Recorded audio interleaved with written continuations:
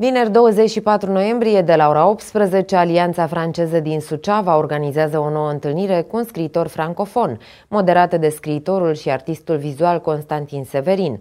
Invitata acestei săptămâni este Gina Puică, lector la Facultatea de Litere și Științe ale Comunicării a Universității Ștefan cel Mare din Suceava și doctor în literatură franceză al Universității Nice, Sofia Antipolis din Franța.